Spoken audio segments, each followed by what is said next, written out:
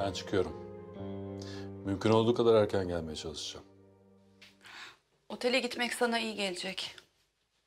Çok gerdin kendini. Bu senin için iyi değil. Dün gece hiç uyandın mı Cansu? Uyanmadı.